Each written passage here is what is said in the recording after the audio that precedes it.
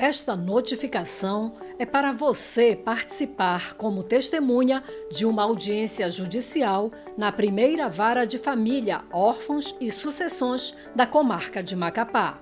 O dia e horário exatos e outras orientações seguem por escrito em separado, juntamente com o link para participar da audiência.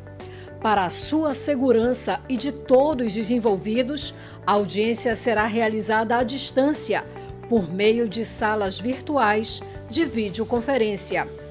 Desta forma, não precisa ir até o fórum e poderá participar da sua casa ou de outro lugar de sua conveniência, desde que disponha de um smartphone, tablet ou computador ambiente silencioso e acesso estável à internet.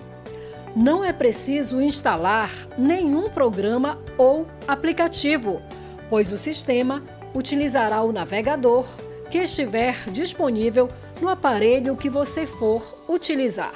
Tenha em mãos documentos oficiais de identificação, preferencialmente com foto. Atenção!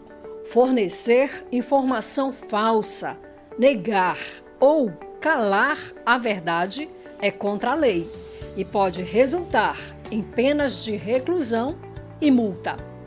Em caso de dificuldades, entre em contato com a equipe de servidores desta unidade judicial pelos canais descritos na mensagem que segue por escrito. Não deixe de participar. Faça sua parte para ajudar o Judiciário do Amapá a aplicar a lei, promover a justiça e a paz social. Tribunal de Justiça do Estado do Amapá.